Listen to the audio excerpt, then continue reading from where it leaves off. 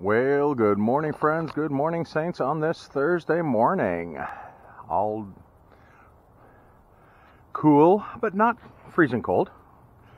Uh, the sidewalk does have a little bit of ice on it, so it's, oh, I just slipped. so it is cold, but not, uh, you know, not like minus 10 or anything. So, yeah, here we go. Let's go for a nice slow walk down to the river wouldn't want to slip and slide and hurt myself. I like to think I'm still young, but falling might prove different. So, you know, I'd rather just live in denial and not fall and not have proof of my age. Oh well. How are you doing today? I'm not getting a lot of response on these uh, videos. I'd love to hear from you. It's uh, very much a one-sided uh, communication, and uh, it's the one part about this I don't like. Um, would love to be engaging with you on this, but uh, let's uh, go down for a, a, quick walk. Let me share with you the uh, kind of the lead into the scripture here of what uh, Lord has laid on my heart reading through the Christmas story again, getting ready to preach on the weekend, and uh, it was uh, just noted again that quite a few times in the Christmas story, you know, angels appear to people to talk to them and whatever, and every time they do, the people are terrified.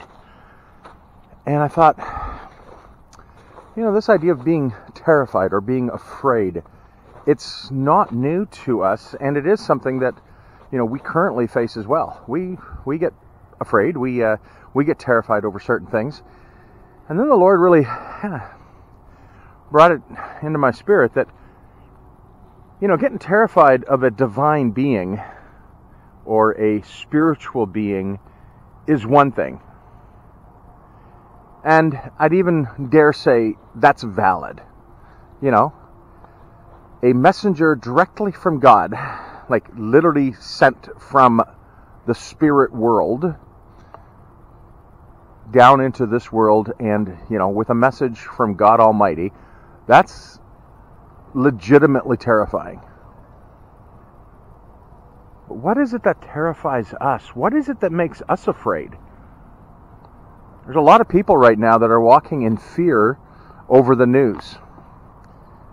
You know, just things that people are doing, whether it's political or scientific or lack of science or, you know, rumors or whatever. And there are people who are in incredible fear.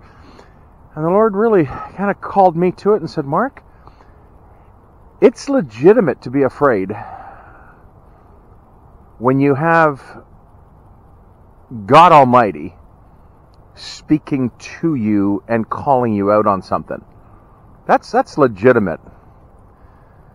But the things of this world, allowing them to cause fear, and so then I take you now to uh, the Word of God, Hebrews chapter 13 and verse 6. So we say with confidence, The Lord is my helper, I will not be afraid. What can mere mortals do to me? And I'd like to just take a little bit of liberty on the translation and say, what can mere temporal things do to me? The things of this world. Hey, you know all the verses. Greater is he who is in me than he that is in the world. Come on. We do not fear the things in this world because the Lord is with me. And if God Almighty, the eternal, the sovereign, is with me, then what in this world should I be afraid of? Of course, then the answer is nothing. Zero. Walk with your head high, friends. Walk with your heart strong. Because God is still God. And this world is just a simple creation. Father, we thank you for your presence. We thank you for your spirit who is at work in us. And although we listen to the news because we want to be informed, Father, we do not fear the news.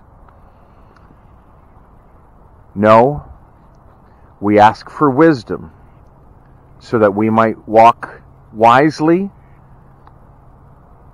But Father, we also ask that your Spirit would fill us so that we might know your presence and know your power and not walk in fear in this temporary world.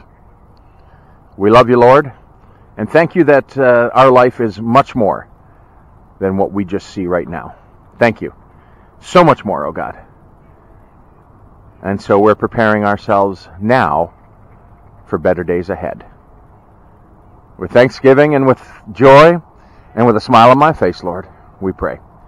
In Jesus' name, amen. Amen. God bless you, saints. Have a joy filled day today. God bless you.